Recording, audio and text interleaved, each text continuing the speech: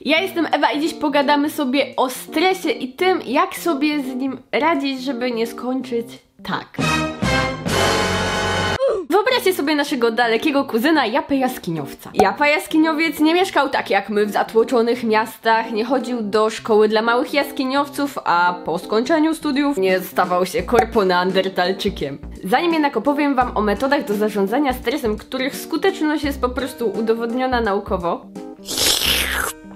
warto zrozumieć skąd w ogóle bierze się ten stres. Po jaką cholerę matka natura wyposażyła nas w tego rodzaju mechanizm? Wróćmy więc do naszego japy jaskiniowca.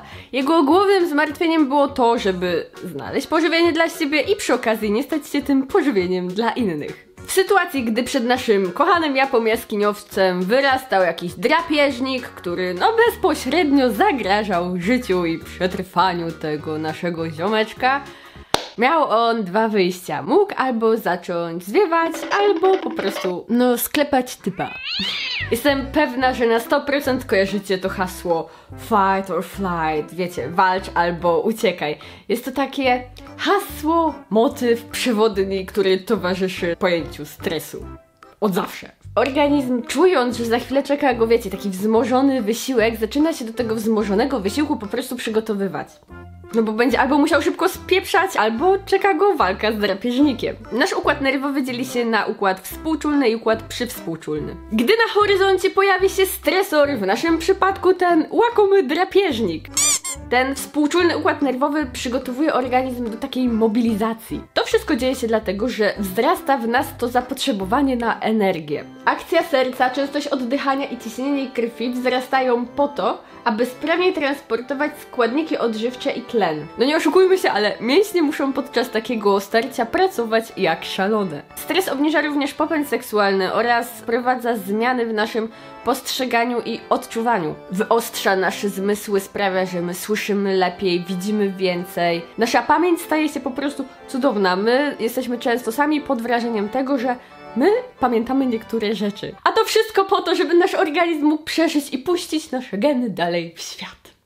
W optymistycznej wersji wydarzeń nasz japa jaskiniowiec uchodzi z życiem. Gdy zagrożenie mijało, mózg daje sygnał, że halo, już jest bezpiecznie, organizmie, możesz się wychillować. I w tym momencie odpala się ten drugi, przywspółczulny układ nerwowy i wiecie, serce przestaje nam walić, hiperwentylacja się uspokaja, nasze ciśnienie krwi spada i organizm wraca do tego takiego, wiecie, stanu wyjściowego. Tak było kiedyś, jednak czas płynął dalej i dzisiaj już bardzo mało prawdopodobne jest, że idąc środkiem miasta wyskoczy ci taki tygrys szablozębny i pomyśli na twój widok, hmm, jaka pyszna szyneczka. Nasza naturalna reakcja, czyli ten mobilizujący stres, pojawiał się w odpowiedzi na istotne z punktu organizmu zdarzenia. Ta nasza naturalna reakcja została nam po prostu przekazana w genach. Więc ten mechanizm cały czas w nas siedzi, pomimo tego, że ważne z punktu widzenia organizmu zdarzenia no nieco ewoluowały. Obecnie takimi ważnymi wydarzeniami w naszym życiu może być na przykład rozmowa z szefem, albo randka z miłością naszych marzeń, albo na przykład jakaś ważna klasówka, od której bardzo dużo zależy. I wiecie, to co dla danej osoby jest w danej chwili czymś istotnym, czymś ważnym, jakimś ważnym zdarzeniem, staje się automatycznie takim potencjalnym stresorem. Kiedyś, kiedy to zagrożenie miało, czyli ten nasz tygrys szablozemny sobie powędrował gdzieś tam za górkę, to zagrożenie mijało. Obecnie jesteśmy wręcz bombardowani informacjami, po prostu oddziałuje na nas w cholerę dużo bodźców. No i chcąc nie chcąc te stresujące bodźce również pojawiają się częściej. Dlatego warto nauczyć się, jak sobie z tym stresem skutecznie radzić. Ale Ewa, dlaczego warto? Ano dlatego, że stres ma bardzo duży wpływ na nasze ciało i na naszą psychę. I tu musimy sobie od razu zaznaczyć, że stres nie jest tylko negatywny. Stres pełni też pozytywne funkcje. Ten korzystny stres, tak zwany eustres, motywuje do podjęcia różnego rodzaju aktywności. Jest takim, wiecie, motorem napędowym. Właśnie dzięki niemu, kiedy na przykład biegniecie spóźnieni na autobus, okazuje się, że potraficie biegać znacznie szybciej. Albo kiedy piszecie na przykład jakiś egzamin i wydaje wam się, że totalnie nie znacie odpowiedzi na dane pytanie i nagle oświecenie i przypomniacie sobie. Kiedy jednak przekroczymy ten optymalny poziom stresu, kiedy ten stres staje się taki chroniczny, pojawia nam się tak zwany dystres, czyli ten niefajny stres.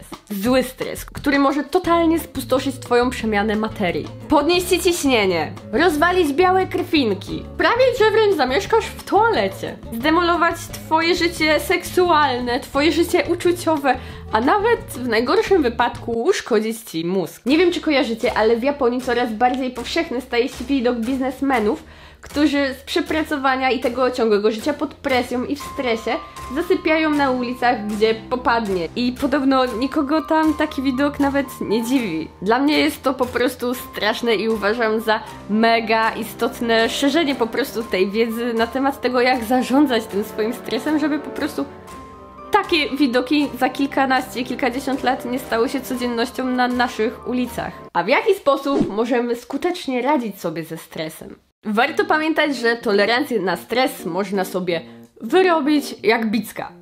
Ale do tego potrzebny jest trening. I uwaga, teraz będzie info dla wszystkich instamadek. Bezstresowe wychowanie, które było, nie wiem czy jeszcze jest, ale na pewno jakiś czas temu było bardzo modne, wcale nie jest dobrym rozwiązaniem, jest wręcz tragicznym rozwiązaniem. Bo naprawdę można nieświadomie wyrządzić temu swojemu bąbelkowi sporą krzywdę, kiedy pozbawiamy dziecko możliwości oswojenia się ze stresem, nauczenia się radzenia sobie z tym stresem, to w życiu dorosłym temu bąbelkowi już jako dorosłemu typowi będzie naprawdę w cholerę ciężko. No nie ma chuja, po prostu dorosłe życie jest utkane różnymi stresującymi sytuacjami i nieważne jak bardzo matka będzie chroniła to dziecko, ten stres prędzej czy później i tak je dopadnie, więc dużo lepszym rozwiązaniem jest to, kiedy to dziecko już za młodu nauczy się po prostu różnych technik radzenia sobie z nim, niż potem zostanie rzucony na głęboką wodę i wiecie, totalnie sobie nie da rady, to wszystko go przytłoczy i skończy się tak, że wląduje na kozetce z wieloma zaburzeniami. No dobra, zacznijmy od takich trzech prostych działań, które pomagają w zarządzaniu tym złym stresem. Można powiedzieć, że te trzy pierwsze pełnią funkcję taką uzupełniającą. Stosując tą jedną wybraną metodę z tych trzech, prawdopodobnie nie dostrzeże się jakichś wielkich, diametralnych zmian. Ale jeśli wszystkie trzy włączy się do swojej codzienności, będzie można zobaczyć już tą pierwszą poprawę. Boże, ale zgłodniałam od tego gadania, wiecie? Idę po pindrynkę. Pamiętajcie, idzie zima, na zimę dobra jest witamina. Śmiechoterapia. Nieważne jak bardzo dziadowsko brzmi ta nazwa, śmiech jest naprawdę bardzo dobrym lekarstwem. Serio, nie jest to po prostu, wiecie, taki pusty slogan bez żadnego pokrycia. Ale Ewa, dlaczego śmiech to zdrowie? Przede wszystkim śmiech zwiększa produkcję oksytocyny oraz endorfin, czyli tych hormonów, które bezpośrednio wpływają na nasze dobre samopoczucie i to poczucie zrelaksowania. Zatem śmiej się ze znajomymi, oglądaj głupie komedie, jakieś durne memy. Po prostu wszystko, co sprawi, że na twojej twarzy pojawi się uśmiech i będziesz się autentycznie śmiać, jest dla ciebie na plus. Przytulanie.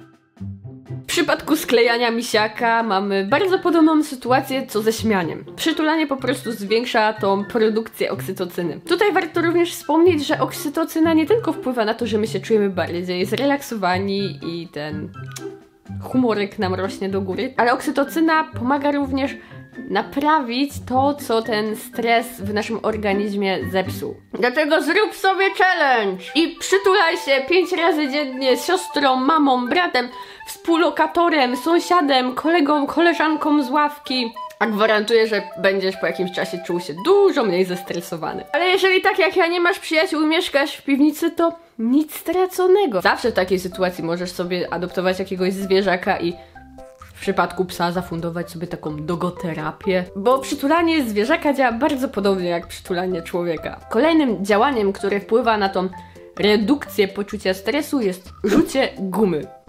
Jakby poważnie to nie jest beka. Na serio w wielu poradnikach jest napisane, że aby się nie stresować, należy rzuć gumę. Tylko ja bym chciała to po prostu troszeczkę szerzej wyjaśnić, bo to nie chodzi o to, że ta guma ma w sobie jakiś magiczny składnik, który sprawi, że pożujemy i staniemy się mniej zestresowani. Chodzi o to, że sam mechanizm rzucia sprawia, że my zaczynamy się mniej stresować. Między innymi też właśnie z tego powodu biorą się różne takie przykre zjawiska, jak wiecie, kompulsywne objadanie się albo jakieś zajadanie stresów, ale to jest jakby materiał na zupełnie oddzielny filmik. Chcę tylko powiedzieć, że jest taka metoda, ale nie należy z nią przesadzać. Ona jest bardziej taka, wiecie, doraźna. Po prostu częste rzucie gumy może negatywnie wpłynąć na nasz tutaj zawiasik. Zatem doraźnie żujcie sobie gumę, why not? Ale nie róbcie z tego jakiegoś takiego codziennego rytuału po kilka godzin. Dobra, cztery kolejne techniki są już bardziej takie poważne. Metoda Denisona. Doktor Paul Denin. Paul Denison opracował metodę mającą na celu zintegrowanie pracy mózgu. Na pewno kojarzycie ten słynny podział mózgu na lewą i prawą półkulę, nie? Że prawa półkula mózgu jest odpowiedzialna za uczenie się, percepcję przestrzeni, pamięć długotrwałą, a lewej z kolei przypisuje się myśli, analizę, widzenie szczegółów, kontrolę nad słowem. Według Denisona brak równowagi między tymi półkulami może prowadzić do różnego rodzaju zaburzeń. Ale bez obaw oczywiście istnieją odpowiednie ćwiczenia, żeby te półkule mogły się znowu zintegrować. To są półkule. Te dłonie symbolizują półkule. Metoda Denisona niesie wiele pozytywnych skutków dla osób ją praktykujących i właśnie między innymi tymi skutkami pozytywnymi jest to, że pomaga ona zarządzać stresem. Literatura zachęca, żeby wykonywać te ćwiczenia jak najczęściej i do tego w sposób urozmaicony, czy nie, żeby ciągle łupać jedne ćwiczenie w kółko, tylko żeby sobie eksperymentować. Szczegółowy opis tej metody wrzucę Wam w linku w opisie, żebyście mogli sobie doczytać, jeżeli Was zainteresuje. A ja opowiem Wam o dwóch takich ćwiczeniach, które według mnie są najciekawsze. Ćwiczenia te są ogólnie bardzo proste, na przykład polegają m.in. na krzyżowaniu wyprostowanych ramion pod klatką piersiową, tak aby na zmianę wyżej była jedna ręka, potem druga, dotykanie lewą dłonią prawego łokcia i odwrotnie, dotykanie lewą dłonią prawego ucha i odwrotnie, dotykanie lewą dłonią prawego kolana i odwrotnie. I jednym z tych efektów wykonywania tych ćwiczeń jest na przykład wzmocnienie oddechu, co przekłada się potem na tą redukcję stresu. To jest w ogóle też bardzo fajne ćwiczenie. Ono nazywa się dosyć dziadowsko, bo Denison określił to jako masowanie punktów na myślenie. Taki masaż między innymi na przykład wpływa na stymulację aorty. Układacie sobie lewą dłoń w ten sposób i tu zaczynacie sobie kręcić kółeczka. Ćwiczenie to można wykonywać tak naprawdę wszędzie, nie są jakieś gorszące czy jakoś super zwracające uwagę, więc nie krępujcie się i stymulujcie swoją aortę gdzie popadnie. Kolejną metodą, która jest super, jeżeli chodzi o zarządzanie stresem, jest trening Jakobsona.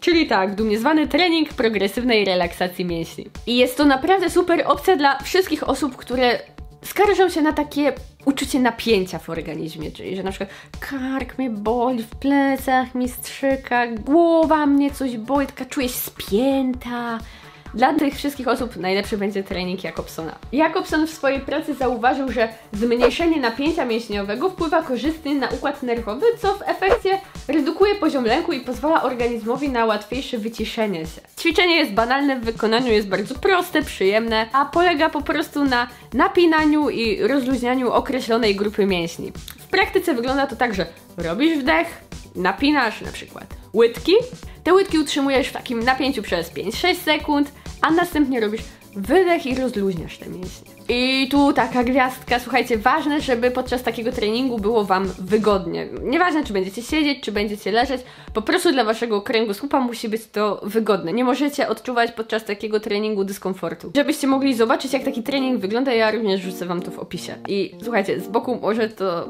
brzmieć dziwnie, ale naprawdę kiedy się do tego człowiek zastosuje, to czuć ten efekt. I ostatnią metodą, która świetnie sprawdza się w zarządzaniu tym swoim stresem, są techniki oddechowe. O nich się bardzo często mówi, ale rzadko kiedy ktoś tłumaczy, dlaczego one tak naprawdę działają. Gdy się zestresujemy, pojawia nam się ta hiperwentylacja, nie? Wali nam serce, ciśnienie skacze, my jesteśmy cali tacy chodzący kiedy my ogarniemy ten nasz oddech i w pewien sposób go uspokoimy, my dajemy naszemu organizmowi sygnał, że halo, organizmie, wszystko jest ok, nie ma się co stresować. I w pewien sposób jakby tak ugłaskujemy ten nasz układ nerwowy, wiecie, tak jakbyśmy go troszeczkę oszukiwali. Podczas szkolenia, na którym kiedyś byłam z zarządzania stresem, poznałam różne techniki oddechowe, a dziś opowiem Wam o dwóch, które ja sama stosuję i wydaje mi się, że są takie najfajniejsze, takie wiecie, najbardziej przydatne do życia. Głęboki oddech brzuszny to jedna z najlepszych technik na obniżenie poziomu stresu. Wykonywana codziennie przez minimum 10 minut pomaga obniżyć ciśnienie krwi i puls serca. Usiądź na podłodze z prostym kręgosłupem. Jedną rękę połóż na klatce piersiowej, drugą na brzuchu. Zacznij wdychać powietrze nosem i wydychać ustami. Spróbuj podczas wydechu wciągnąć maksymalną ilość powietrza, po to by dostarczyć jak najwięcej tlenu, a podczas wydechu nie przestawaj powoli liczyć. Mówiłam, jej wykonanie jest po prostu banalnie proste. Jeżeli chodzi o relaksujące ćwiczenie oddechowe 478, możesz praktykować tą technikę w dowolnym miejscu i momencie, aby się uspokoić i wyciszyć. Zacznij w pozycji siedzącej z wyprostowanym kręgosłupem. Połóż czubek języka na górnym podniebieniu, tuż za zębami i trzymaj go w tym miejscu przez cały czas trwania ćwiczenia. Zrób wydech całkowicie przez usta. Pamiętaj o języku. Dźwięk wydychanego powietrza powinien być wyraźny. Zrób wdech nosem, licząc po cichu od 1 do 4. Zatrzymaj powietrze, licząc powoli i pewnie od 1 do 7. Wypuść powietrze ustami, licząc od 1 do 8. Nic trudnego, a naprawdę potrafisz działać cuda. No dobra, to chyba by było tyle z tych naszych technik do zarządzania stresem. Ja sama je stosuję, więc wiem po sobie, że one też pomagają i z czystym sumieniem mogę Wam je polecić. Oczywiście pamiętajcie, że w sytuacji, kiedy ten stres będzie Was przerastał, kiedy Wy naprawdę będziecie czuli, że czy tymi technikami, czy jeszcze jakimiś innymi nie jesteście w stanie opanować tego, co się w Was dzieje, najlepszym wyjściem zawsze będzie wizyta u specjalisty i przepracowanie tego problemu. Przyznam Wam, że jestem ciekawa, jakie Wy stosujecie techniki do ujarzmiania stresu, także podzielcie się nimi ze mną i z innymi widzami w komentarzu. Słuchajcie, pomagajmy sobie. Jeżeli film jest według Was przydatny i warty zobaczenia, zostawcie kciuka w górę, podeślijcie go najbardziej zestresowanej osobie, jaką znacie. Tu są moje social media, gdzie tu są moje social media i widzimy się w kolejnym filmiku bez soski!